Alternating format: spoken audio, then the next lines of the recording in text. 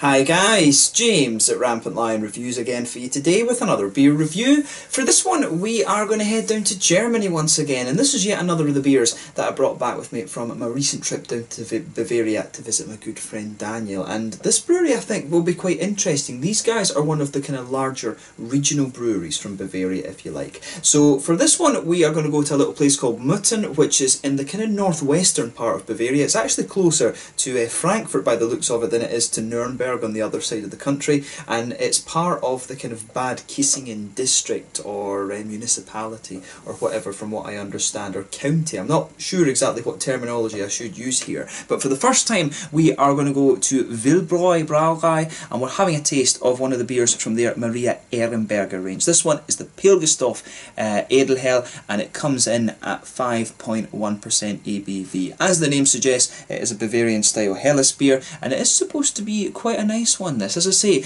um, in Germany, one of the great things is that regardless of what brewery you're going to go to, you are going to get a pretty um, good quality beer. But very curious to see how this one turns out. It's one of my favourite traditional German beer styles. If you've watched the channel before, you will know that I love the Helles, the Dunkels and the Doppelbocks. And of course, my whole love of beer started with the Bamberg Rauch beers. So very curious to see how this one turns out. And as always, I hope you guys enjoy my take on this one.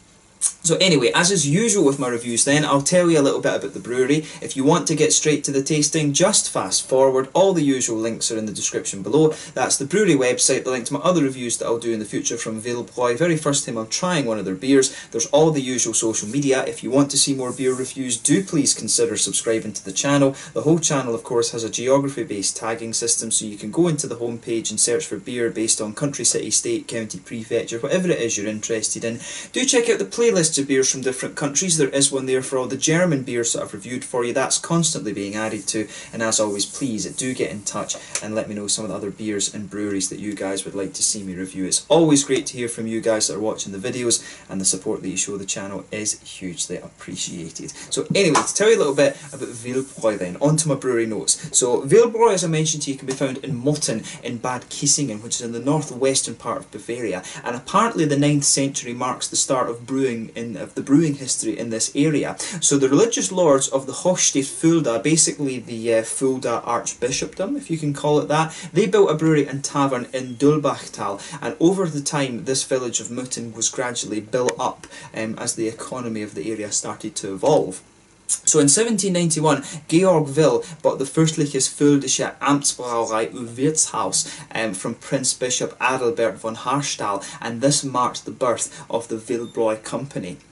So after 1900, the Veil beer was being exported to various foreign restaurants. I'm guessing it was going to places like what is now the Czech Republic and to France and maybe into the Netherlands and stuff like this. Um, but there was increased popularity for this beer basically. But during the First World War, the positive growth of the brewery that had been continuous for quite a period of time stopped basically because of the lack of raw materials and the fact that the brewery apparatus and stuff had been dismantled. A lot of this happened to a lot of breweries during the First World War. Basically, their brewing equipment was taken away and used for me the metals were used for tanks and armour and all of this kind of things. But following seven years of inactivity, the widow Theresia Will and her son Karl began brewing again in 1926 and they slowly began to rebuild the business. Soon after though the Second World War broke out and this provided a further setback for the brewery, Karl was actually a prisoner of war and wasn't able to return to Germany until 1948 and the brewery began to grow through the 1950s and 1960s with the building of a new and more kind of modern facility. But apparently up until the 1960s, they used to fill their beer in 100, or they used to put their beer in 100 litre wooden barrels before they introduced bottling, of course. Nowadays, that's unheard of. Most of the barrels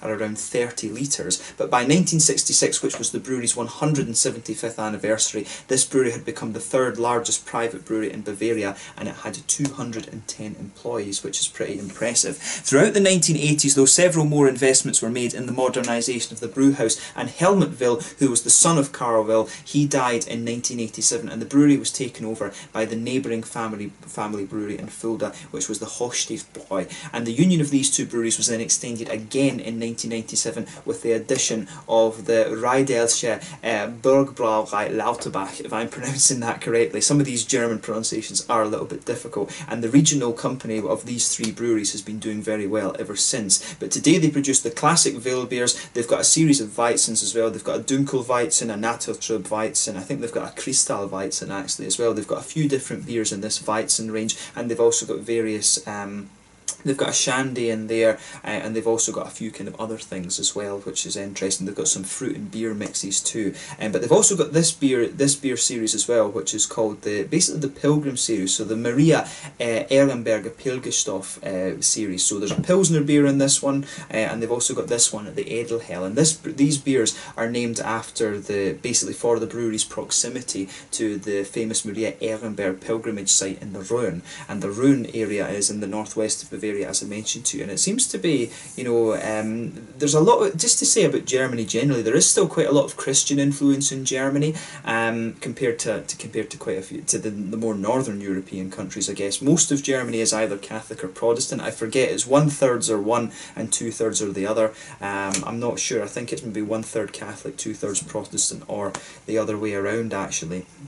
But um, there's still a significant Christian influence in Germany, and quite a lot of the breweries, of course, have this influence in their, uh, you know, their names of their beers and things like this. A lot of breweries have connections to monks or to monasteries or uh, or whatever, as this one does, as we've talked about. But yeah, that's all you really need to know about this brewery just now. One of the larger uh, regional breweries that you're going to find in Bavaria, and this was a beer that I picked up when I was in um, when I was in Bamberg visiting Daniel. So yeah, um, so if you want to learn a little bit more about the brewery about the brewery, then you can check out the brewery website in the description below. You can follow them on Facebook and stuff like this. They've got a lot more technical detail about their brew house and things like that that you can read if you are a kind of beer nerd in that sense of the of the word. Um, but for me, it's all about tasting the beer and things like that. I do enjoy a little bit of home brewing, but some of the stuff that they were talking about in there was beyond my knowledge of uh, of the chemical engineering side of things. Even though I've got a background in chemistry but yeah, let's get on to the actual tasting of this beer itself then. So as I said at the start, this beer is a 5.1% Bavarian Helles beer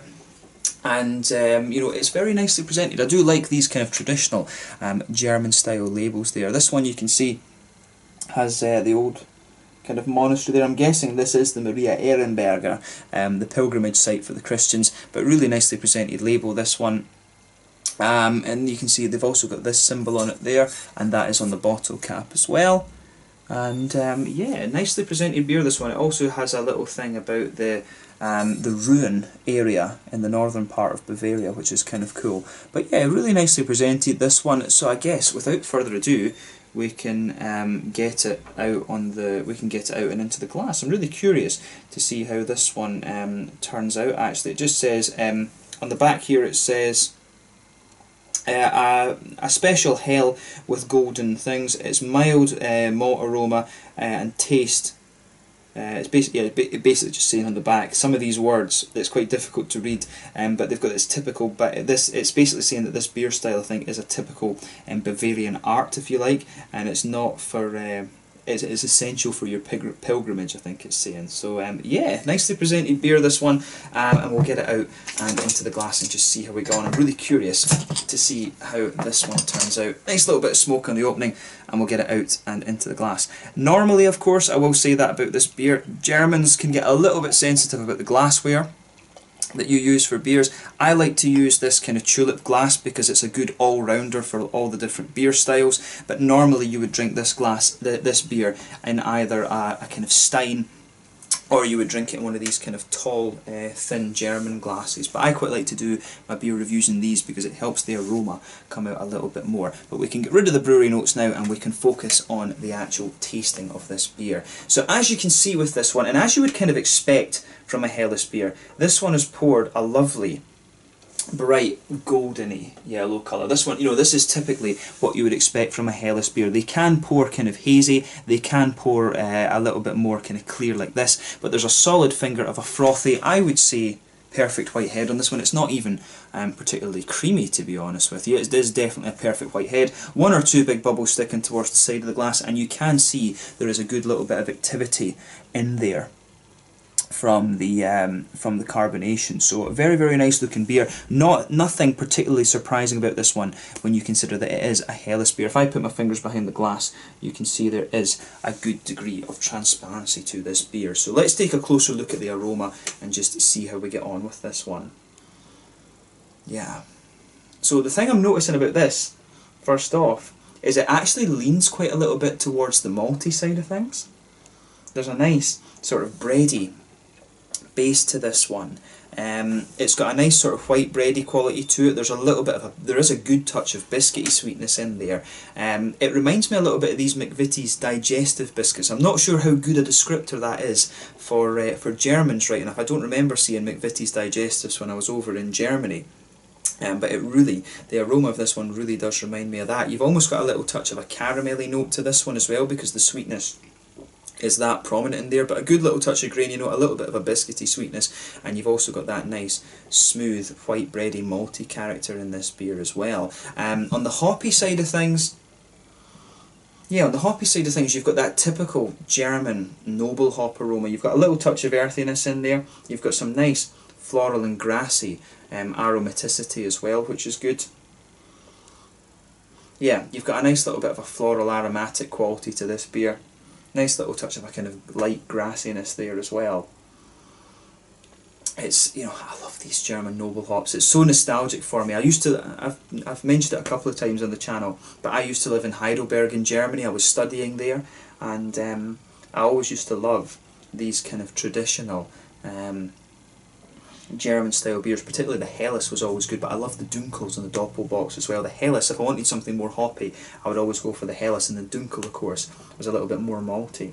But I love the, you know, the Tettnanger and the Hallertau hop aromas. They're so distinctive, that nice little almost sweet earthiness, the floral aromatic components, and also a little bit of the lighter grassiness. There is a little touch of that almost grassy, citrusy quality to this beer as well, which is really nice. Um, maybe there's a little touch of a kind of perry ester or something like that coming out of this beer but it is very kind of straight up. You know, this is it smells like a typical German sort of Helles uh, beer. This one, so if you know this style and you like it, the aroma is kind of pretty much what you would what you would expect out of this one. But to me, on the on, in terms of the Helles spectrum, it leans a little bit more towards the sweeter malty side of things. But there is a good little bit of hoppy presence in there as well. But let's have a taste of this one then and just see how we get on with this beer. So this one is the Maria Ehrenberger Pilgerstoff Edelhell from Will Bräu in Motten in Bad Kissingen in uh, Bavaria in Germany. Let's get stuck into this one. Slàinte, Skål, Prost.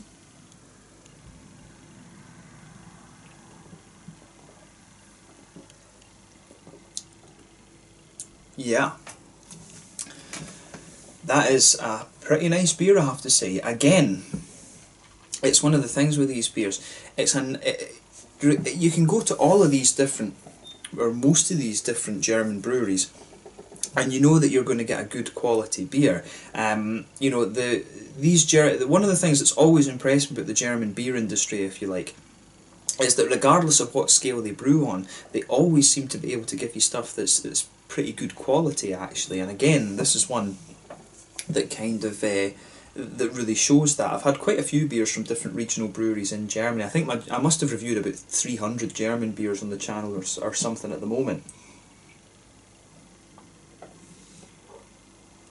But again, this is just another very, very solid beer. So, where to start with this one?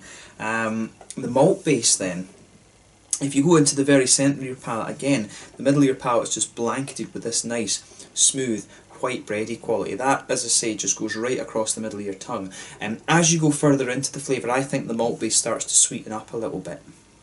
Um, it's actually quite crisp in the malt base, this one. This beer, I suspected it from the malt base a little bit. It does lean a little bit more almost towards the kind of lagery um, side of things, which is kind of interesting. Usually you would expect a Helles to be just a little bit thicker than this, from what I remember. This beer does seem to have some Pilsner um, kind of leanings to it, or lager type leanings to it, which is kind of interesting. I guess the Hell, you, know, the Helles beer is a lager, if you like. Um, the Dunkel is a lager. The Doppelbock is a lager type beer as well. But this one, to me, um, if I have a, a, sort of Helles lager, I do, you know, sometimes you can expect these just to be a little bit thicker than that. The malt base in this one, I think, is very, very crisp but it works for it. It really does work for it quite nicely. And you know, it's one of these interpretations of the style. Some of them can be very crisp, some of them can be a little bit more malty, some of them can be a little bit more hoppy as well. But the main question is whether it's a nice beer or not. And to me, this is certainly a very nice kind of uh, easy drinking one. And you know, I like the Helles style. It is intended to be a nice kind of easy drinking beer.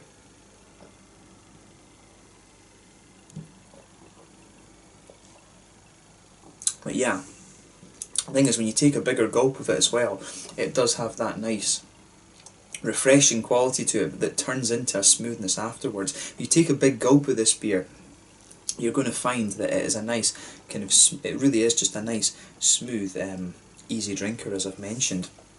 But yeah, nice kind of um, pale malty, bready malt base, and then you can pick out some of the smoothness of the malt in here. I do wonder if they've maybe used a little bit of Weyermann in here, uh, the Weyermann malts from Bamberg. I'd be very curious to know that right enough. But yeah, middle of your palate's got that nice, smooth, white, bready quality. On top of that, if you just go more towards the middle of your palate, you can feel there is a little bit of graininess just pushing its way out of this beer in the very centre of the tongue. You've got a nice light sort of um, biscuity note to this beer as well, and it does evolve to be a little bit more almost caramelly, and that will be covering the alcohol actually.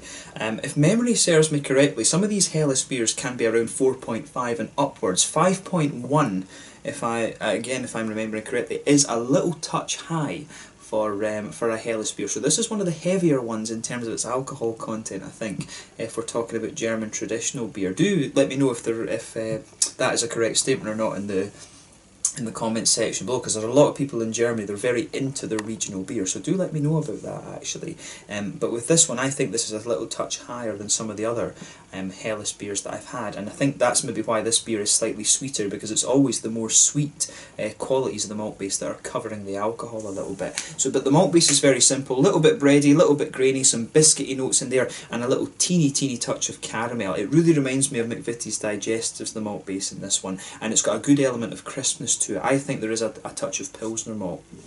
Uh, there, there is there has been a bit touch of Pilsner malt used in this one just to give the malt base a little bit of a crisp quality.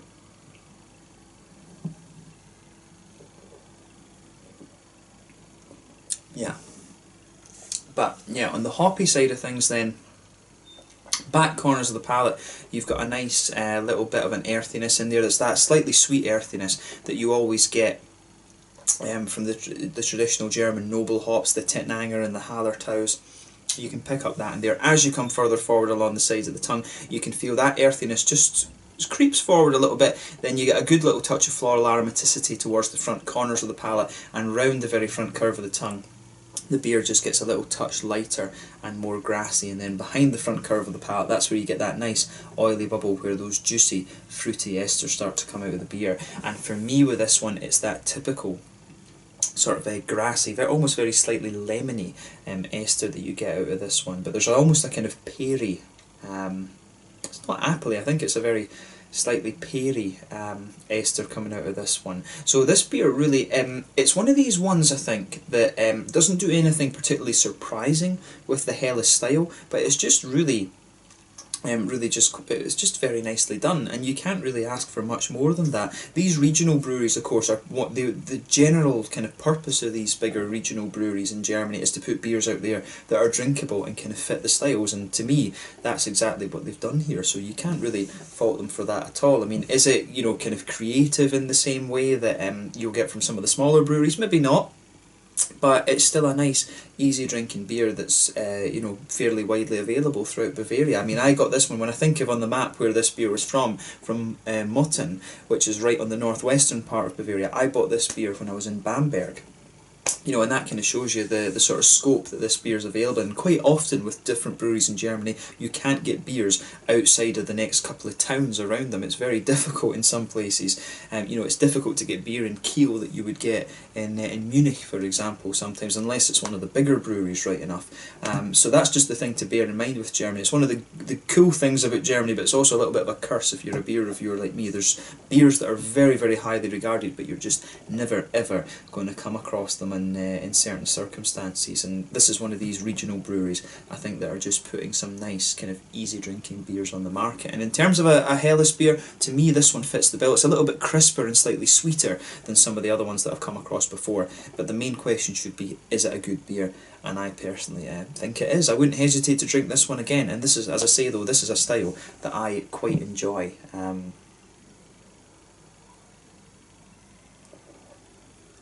but yeah, I do like that. Um, so in terms of the mouthfeel then, I would say this beer, it's sort of at the bottom end of mid-bodied, top end of light-bodied Carbonation is quite smooth. It's leaning a little bit towards the oily side of things. The malt base, as I said, has a bit of smoothness to the base, but the further you go into the aftertaste, I think the sweeter this beer's getting. There's a little touch of hoppy bitterness to this one. I think you're talking maybe 30, uh, you know, sort of 30-ish IBUs with this beer. Yeah, maybe not. I was going to say, I was tempted to say maybe 40, but I think this is around a 30 IBU beer, this one. Um, little touch of kind of fruity ester from this one, a sort of peary, grassy, uh, citrusy sort of ester out of this beer. But overall, it's, it's just a really nice, quite crisp, easy drinking Helles, this one. This is a beer that you could easily session. I very rarely session beers these days because for me it's all about tasting different things. But um, in terms of being a Helles beer, I think they've done a pretty um, nice job with this one. So I'm glad I was able to try this. It's cool always to try these beers from the regional breweries in Germany and of course the beers from the Brauhauses as well. And there's you know there's so many breweries in Germany it's cool to just try as many different things as you can. And this is a style that I've always enjoyed since I lived in Germany. So yeah thumbs up to the guys at uh, for this one. This is an interesting beer and if you get the chance to try this one the Maria um, Ehrenberger Pilgerstoff Edelhell if you like this style of beer, I think you're going to find a nice sort of easy drinking example of it here. So let's just leave it at that for this one. This is a nice Helles beer. It leans a little bit towards the sweet side of things, very, very smooth, and uh, it's, it's just a nice, kind of crisp, easy drinker, and that's what you want from this style. So it gets a thumbs up from me, and uh, maybe I'll drink this beer again the next time I go to Germany. So yeah, let's leave it at that then. Once again, thank you for watching my beer reviews. Until the next time, please like, subscribe, share, all the usual YouTube stuff. Let me know your own thoughts on this beer in the comment section below. Let me know what your favourite beers are from Will Bräu and do let me know if there are any other Helles beers that you'd recommend for me. I always like trying different Helles beers. I've had a good few German recommendations from you guys. Again, I would love to review them, but the problem with the German beers is that they are very local and very regional, so it might take me a while to get a hold of these. But if you do send me a suggestion, I will put it on my Untappd list and you'll see it at some point, fingers crossed. Um, but thank you again for watching my beer reviews. Please like, subscribe, share, all the usual YouTube stuff. Let me know your own thoughts on this beer in the comment section below, as I said, and let me know your favourite beers from Will Bräu. Check out my social media and I will catch you guys very soon. This one was the Maria Ehrenberger Pilgerstoff Edelhell coming in at 5.1% from Will Bräu in Motten Bad Kissingen, Bavaria, Germany. Until the next time, it's Landry just now, and I'll catch you guys later. Have a go at this beer if you want a nice, easy drinking German Bavarian style Helles. Slàinte, Skål, Prost.